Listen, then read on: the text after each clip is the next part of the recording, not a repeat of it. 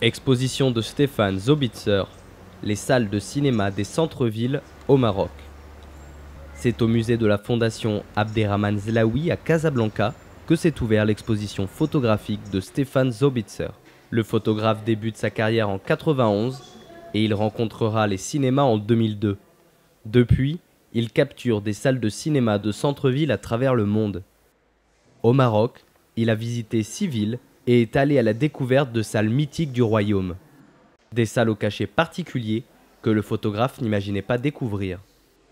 Je, travaille depuis à peu près une dizaine d'années maintenant, euh, enfin même plus de dix ans, sur les salles de cinéma de centre-ville de par le monde.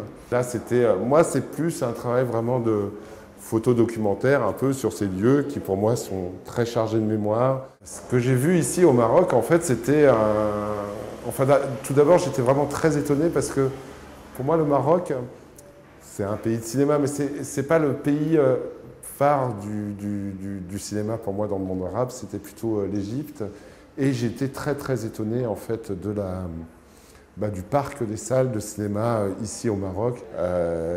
ces salles obscures, c'est un peu des belles endormies qui attendent d'être réveillées. Mais ce qui est vraiment chouette au Maroc, c'est que enfin même si certaines ont été totalement détruites, malheureusement évidemment, mais, mais c'est qu'il y en a quand même beaucoup qui sont encore là. Les amoureux de la photographie pourront découvrir cette exposition jusqu'au 15 mai au musée de Casablanca.